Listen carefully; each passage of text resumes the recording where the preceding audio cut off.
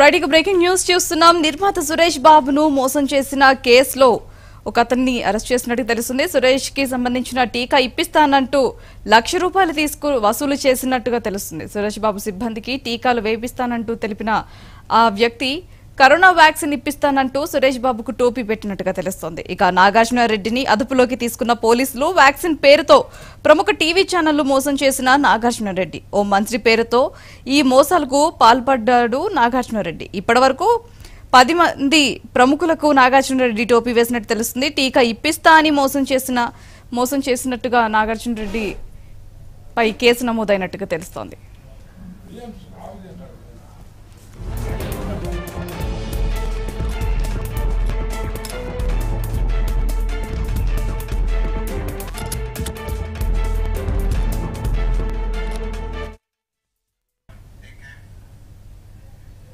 Right ఇక నిర్మాత సురేష్ బాబును మోసం చేసిన కేసులో పురోగతి వచ్చినట్టు తెలుస్తుంది. ఇక దీనిపై పూర్తి అప్డేట్స్ మా కరెస్పాండెంట్ సూర్యప్రకాష్ అందిస్తారు. సూర్యప్రకాష్ మా క్రైమ్ బ్యూరో చీఫ్ పవన్ అందిస్తారు. పవన్.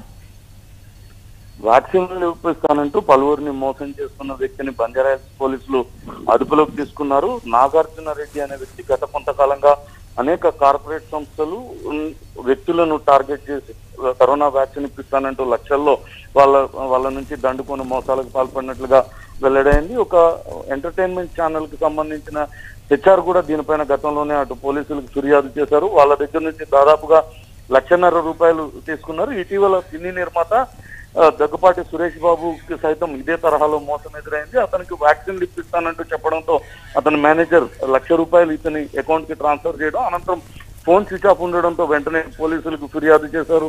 దాంతో పోలీసులు దర్యాప్తు ముమ్మరం చేసి ఈ రోజు నాగార్జున రెడ్డిని అదుపులోకి తీసుకొని విచారిస్తున్నారు. కేవలం నిర్మాత సురేష్ బాబు ఒక కార్పొరేట్ ఎంటర్టైన్మెంట్ ఛానలే కాకుండా పలువురు వ్యక్తులను వ్యక్తిగతంగా అతను మోసం చేసినట్టుగా కూడా వెల్లడైంది. తెలంగాణలోని ఒక మంత్రి పేరు చెప్పుకుంటూ తరచూ ఇటువంటి మోసాలకు పాల్పడుతున్నట్లుగా కూడా పోలీసుల విచారణలో వెల్లడైంది. అతను పూర్తి స్థాయిలో విచారించిన తర్వాత మీడియా ముందు ప్రవేశపెట్టే అవకాశం ఉంటుంది Bharathi right thank you Pavan